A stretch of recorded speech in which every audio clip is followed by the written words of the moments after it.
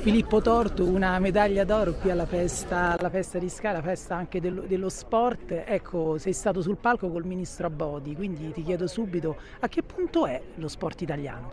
Ma io penso che lo sport italiano sia un buon punto, eh, ne sono testimoni i grandi risultati che in questi anni eh, sta ottenendo, quindi penso che sia, sia sano lo sport in Italia, poi naturalmente ci sono sempre eh, soprattutto da sportivo uno guarda sempre a quello che si può migliorare, a quello che si può fare, quindi sicuramente ci saranno eh, delle, delle, cose su cui si può puntare, come si parlava prima di portare lo sport eh, più nelle scuole, renderlo più presente per, per i bambini già dalle elementari fino, fino ai ragazzi del liceo e anche all'università.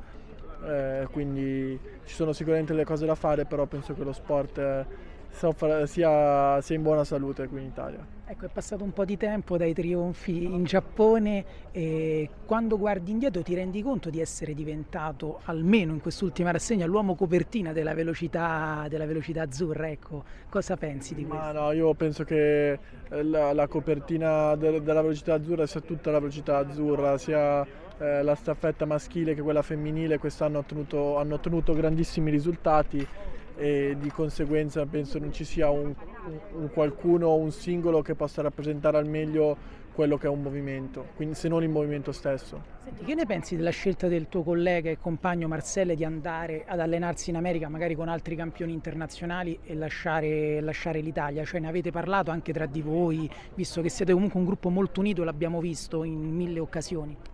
No, sinceramente non abbiamo parlato, io penso sia una scelta alla quale lui naturalmente ha, ci ha ragionato tanto, ci ha pensato bene, quindi penso che abbia preso la scelta giusta e spero naturalmente che, che arrivino altri, altri ris grandi risultati per lui.